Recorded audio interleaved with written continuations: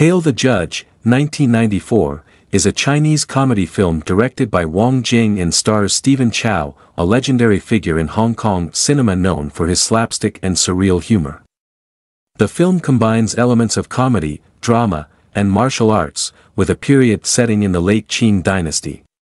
It revolves around themes of justice, corruption, and social satire, all brought to life through Chow's signature comedic style. Plot summary, Stephen Chow plays Pao Lung Sing, a descendant of the famous Judge Bao, who is remembered for his integrity and unyielding sense of justice. However, Pao is initially a stark contrast to his ancestor.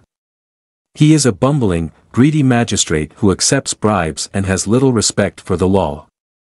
Pao's corrupt ways soon get him into trouble when he fails to solve a critical case, leading to his fall from grace. The story takes a turn when Pao meets a young widow named Qi Shuling, played by Chung Man, who is framed for the murder of her husband by a powerful and corrupt nobleman. Now disgraced and stripped of his rank, Pao sees this case as his opportunity for redemption. With the help of his loyal servant, played by Ng Mantat, and his wits, Pao sets out to clear Qi's name and expose the real culprits. Along the way, he transforms from a corrupt official into a fearless advocate for justice. Performances, Stephen Chow delivers a masterclass in comedic timing and versatility.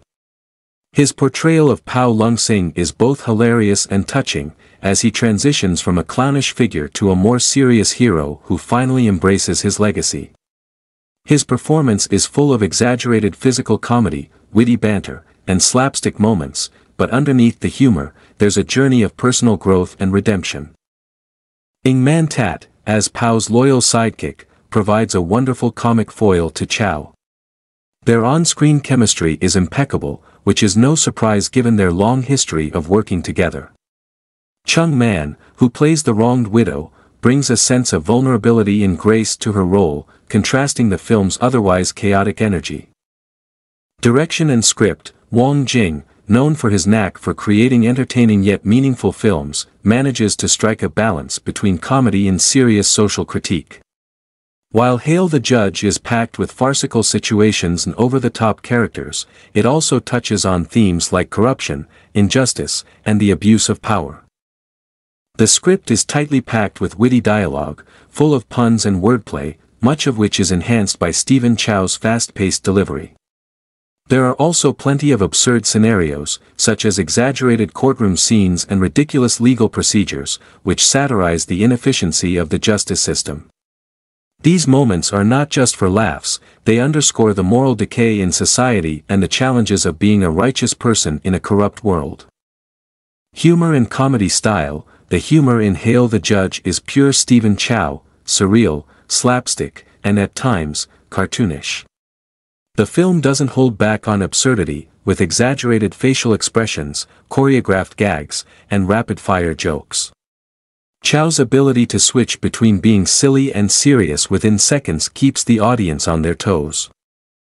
While many of the jokes are universal, some rely on a good understanding of Chinese culture and history, which adds an extra layer of enjoyment for viewers familiar with the context. For fans of Cantonese cinema, the film also has several in-jokes and references to other films and historical figures, particularly regarding the legacy of Judge Bao, the famous upright official from Chinese folklore. Cinematography and set design, the film's period setting is captured through elaborate costumes and set designs that depict the late Qing dynasty. Although the budget for Hail the Judge wasn't particularly high, the filmmakers managed to create a believable historical backdrop that blends seamlessly with the comedic narrative. The courtroom scenes, in particular, are visually memorable, with the chaos and confusion exaggerated by the fast-paced editing and camera work. Action and martial arts, although primarily a comedy, Hail the Judge doesn't shy away from action. There are a few well-choreographed fight scenes that showcase Stephen Chow's martial arts skills, though these are often played for laughs.